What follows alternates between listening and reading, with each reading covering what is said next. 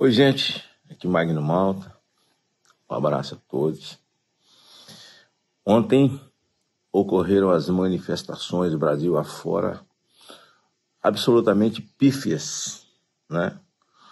Dessa esquerda comunista, PT, PSOL, PSB, Rede, os puxadinhos do PT, aqueles que não escondem mais aquilo que eles são e querem.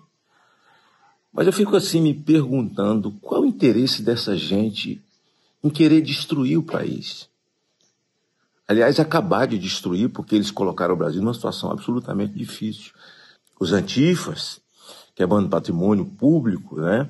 patrimônio particular, né? quebrando e tocando o terror em concessionárias de automóveis, e colocaram fogo na estátua de Emanuel Borba Gato, que começou suas atividades, um bandeirante paulista, com o sogro Fernão Dias. Uma história, né? Uma história. Foram lá e botaram fogo. Dando recado que eles colocaram fogo em tudo que achar pela frente. Interessante que eu li uma frase atribuída ao deputado do PSOL, Ivan Valente, que essa é a forma democrática da esquerda fazer política. E aí eu fico pensando, meu Deus, vamos desistir? Porque cada dia é uma coisa. Mas alguém, eu vi um vídeo no WhatsApp, a pessoa dizendo, olha, em seis anos nós tivemos todas essas conquistas. Presidente preso, tesoureiro de partido preso, tiramos a Dilma do poder, uma série de narrativas que eles fazem, que ele faz e que nós em seis anos tivemos esse avanço até chegar com um conservador ao poder pela via do voto, que é o Jair Bolsonaro. Ah, eu quero aproveitar para dizer a vocês que dia primeiro nós estaremos nas ruas.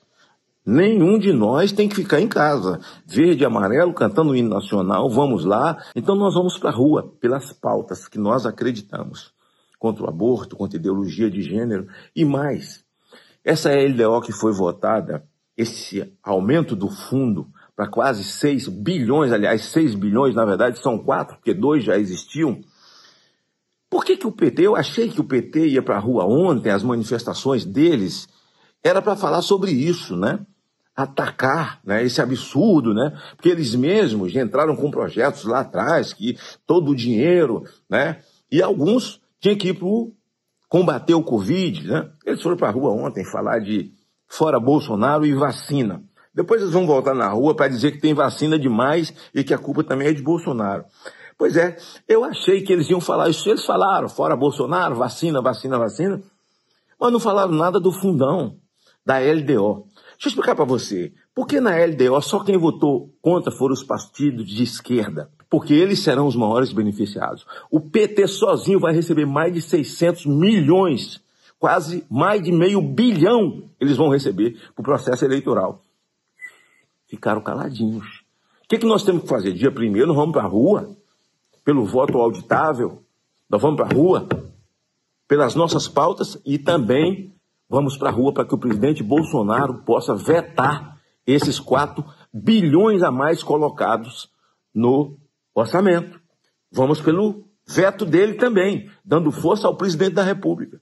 Aí nós vamos ver, votação nominal, quem é o cara de pau que vai votar para derrubar o veto do presidente da República. Tamo junto, Deus no comando, vamos em frente. Beijo no coração.